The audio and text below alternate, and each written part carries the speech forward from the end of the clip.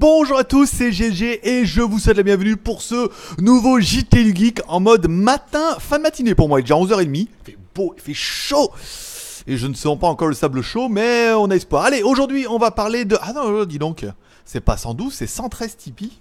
J'ai oublié de mettre les noms à jour, je suis désolé, je le ferai tout à l'heure. Je suis un peu ce matin, un truc comme ça. Bon, on va parler aujourd'hui du Samsung Note Draw Mo, euh, Samsung Notebook 9.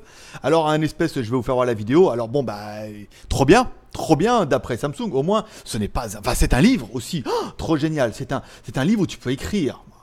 ouais, génial. Voilà, tu peux faire des nœuds aussi. Voilà, tu peux faire euh, plein de trucs qui servent à rien en fait. Tu peux t'en servir comme livre, ça c'est bien. Tu vas pouvoir regarder des photos, tu vas pouvoir aller à l'école, trop bien. Tu vas pouvoir faire des, matchs de foot avec, ouais. Tu vas pouvoir mettre bah, un bloc-notes, hein, là on a compris. Tu vas pouvoir le lire et surtout tu vas pouvoir le mettre en mode tablette. Ça c'est vraiment le truc bien. Et un des gros intérêts de ce Samsung Notebook, ce qu'on ne voit totalement pas pendant la vidéo, c'est qu'il a une, un stylet. Voilà. C'est un peu la seule nouveauté. Alors, on a eu, je pense qu'on a eu les, pour nous, les, les vieux, on a eu 20 glorieuses entre les années 80 et les années 2010. On a eu les ordinateurs portables qui commençaient à être vraiment bien. Après, on a eu les tablettes. Après, on a eu les, les notebooks. Après, on a eu les tout en un, les notebooks qui faisaient tablette et qui faisaient ordinateur portable, machin et tout. Bah, c'est ça. voilà. On en est maintenant où bah, on mixe les trois et qu'après, bah, il y aura plus rien, quoi. Les mecs savent pas quoi innover. Donc, du coup, bon, bah, le Samsung Note 9, si on prend un peu, bon, bah, il est sur le site de Samsung, c'est facile. C'est un ordinateur portable, ordinateur portable, avec un processeur i7. Bon, jusque-là, normal. Euh, un processeur i7 de 8ème génération, Windows 10, c'est normal. Un écran 13,3 pouces. Donc le format est assez compact. hein.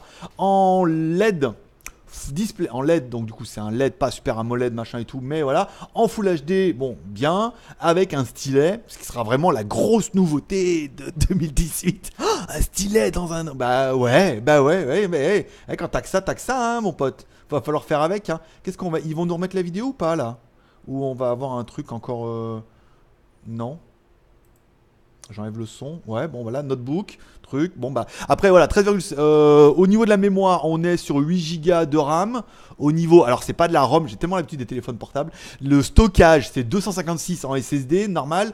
Bien évidemment, le gros intérêt de cet animal là, ça sera pas comme ils auraient bien envie de le vanter, sa puissance pour faire des retouches photo vidéo. Et mollo, hein, les retouches photo vidéo, la machine, c'est pas une bête de course. Alors peut-être avec le logiciel Samsung, ça valait bien.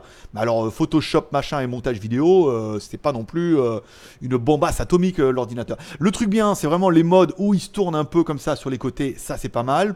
Je regretterais comme ça au premier abord, c'est la connectique micro SD. Qui travaille avec le micro SD Tu fais de la photo, de la vidéo, c'est de la SD card. Ça, c'est quand même, c'est vraiment le choix à la con. Euh, bon, lecteur d'empreinte digitale, machin et tout, bon, face reconnaissance, voilà. Tous les nouveaux gadgets de chez Samsung, c'est bon, normal. Une seule prise USB Type C, ça aussi, c'est quand même bien minable, parce que pour la charge et pour machin, deux prises, ça aurait été quand même un minimum syndical. Même si on met que de l'USB Type C, au moins on met deux. Parce que là, une, une fois que tu auras chargé machin, c'est obligé d'avoir un dongle pire que chez Apple. Euh, donc tu pourras faire de la charge, de l'OTG machin, une sortie HDMI pour mettre sur ton écran et tout. Bon, ça c'est pas trop mal en natif, mais je suis pas encore convaincu. C'est vrai que bon, peut-être les, architectes auront envie de oh, machin mettre comme ça dessus, puis après il y a mettre sur un télé pour faire un- une projection en temps réel. Bon après voilà quoi, je veux dire c'est un ordinateur euh, portable, plutôt format notebook. hein. Alors là, je trouve que la micro SD c'est vraiment un choix qui qui est totalement ridicule quoi. Qui utilise la micro SD maintenant Ah mais c'est mon téléphone. Mais non, faut arrêter. Là si le truc s'adresse à des architectes, des photographes ou des vidéastes, c'est au moins une carte SD quoi. C'est vraiment le, je sais pas. C'est vraiment un choix stratégique qui est un peu différent. Alors l'USB Type C, ils vous promettent qu'on pourra recharger qu'une batterie. Attention, c'est une alimentation 45 watts qu'ils mettent pour de la charge normale. hein. Donc avec ta batterie externe, ça va recharger, mais tout doucement, euh, pas super vite, tu vois.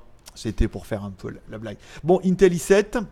Lecteur d'empreinte digitale, Windows 10, 256 en SSD, écran Full HD, bla bla bla bla bla bla bla. Bon, rien d'exceptionnel, si ce n'est le prix. Bon, le prix, j'ai pas trouvé ça foufou. 1300 dollars. 1300 dollars, c'est le prix d'un Samsung Note 9 en version 512. Donc pour le prix d'un Note 9, voilà, si vraiment tu veux un truc avec un stylet machin, t'as quand même un ordinateur portable. Alors oui, il est pas 3G, 4G et tout, mais ça a pas la même gueule. On est d'accord, c'est pas la même utilisation, mais Voilà, je trouvais intéressant de faire un parallèle comme ça où tu peux avoir quand même, même s'il est pas fou, hein, on est d'accord, hein, au, niveau, euh, au niveau graphique, il donne bien. Parce que j'attendais HL, alors je suis en stress, ce qui va arriver pile au moment. Au niveau de la carte graphique, il n'y a rien de, folichon dedans. Hein. Je vous fais voir un peu graphique. Il y a un chipset UHD graphique 620, donc euh, l'histoire de on fait du montage vidéo et des retouches photos. Euh, avec Paint.net et, avec Windows Maker. Hein. Parce qu'après, le reste, ça va être un peu compliqué. Mais enfin bon, pour 1300 dollars, faut voir c'est un appareil qui peut répondre à une demande. C'est-à-dire que bon, t'as quand même, c'est pas une tablette sur laquelle tu mets un clavier, ça c'est un appareil deux en un. Voilà. Donc dites-moi en commentaire ce que vous pensez un peu de ce genre de produit? Est-ce que c'est un produit qui est bien? Est-ce que c'est un produit qui a une utilité? Est-ce que c'est un produit qui est beaucoup trop cher pour vous? Pas assez cher par rapport à un Note 9 pour le coup. C'est un produit qui vous conviendrait, qui ne pas quels sont ses faiblesses, ses points forts? Ah, pour moi, la micro SD, ça correspond à rien, autant mettre rien. Et une seule USB type C, ça aussi. Après qu'il n'y ait pas de prise USB. Et encore, on se rend compte s'ils ont réussi à mettre un HDMI sur le côté, et on dirait bien que c'est un. On dirait bien que c'est un USB. Ouais, c'est ça, il y a un USB sur le côté. Ah, bah ça va, il y a un USB 3. Euh, J'ai pas vu sur la, fiche, euh, ils l'ont pas noté. C'est bizarre, ça fait voir les photos, je regarde.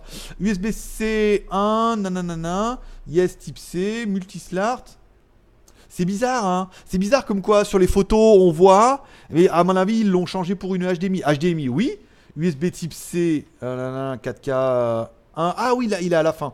USB 3.0. Donc il y a bien USB 3.0, un USB-C, donc ça va. Bon, ça va, j'ai pas trop dit trop de mal.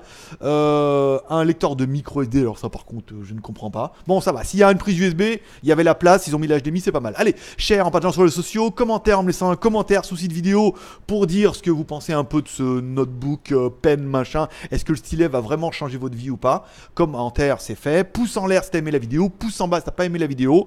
J'essaie de diversifier un peu, de mettre du Samsung, du chinois, parce que comme ça, la chaîne sera pas trop euh, bookée par euh, YouTube en faisant que du chinois, en faisant un peu de Samsung machin. Et je trouve que c'est un produit qui est pas trop mal. Dites-moi en commentaire ce que vous en pensez, s'il y a mieux pour le même prix. Après, c'est le stylet Samsung qui fera toute la différence. Voilà. Toute la différence, la différence, 1300 dollars. En France, ça va faire au moins 1500 euros.